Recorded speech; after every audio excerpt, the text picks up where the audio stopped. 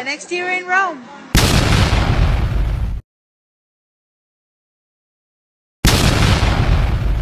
Would be Stockholm. Congratulations, Switzerland. Next year in Geneva.